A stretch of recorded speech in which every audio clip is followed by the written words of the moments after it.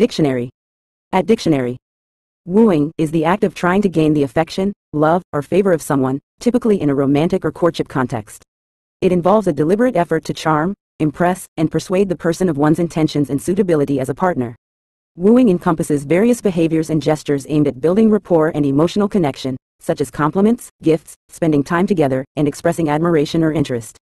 The process of wooing often involves demonstrating sincerity, patience, and understanding of the other person's desires and preferences, with the ultimate goal of forming a romantic relationship or deepening an existing one.